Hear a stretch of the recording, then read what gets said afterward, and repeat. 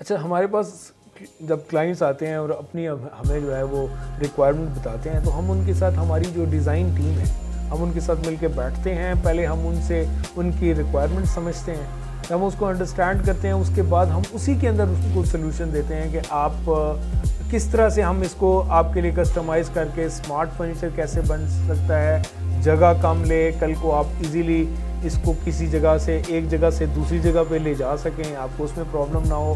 और फिर उसकी फिनिशिंग वही रहे। और आखिर में उसकी कॉस्ट भी इतनी रहे कि वो मार्केट से आप जो है वो हट के कोई चीज़ कर रहे हो। तो इस तरह से हम जो है इसको एग्जीक्यूट कर रहे होते हैं।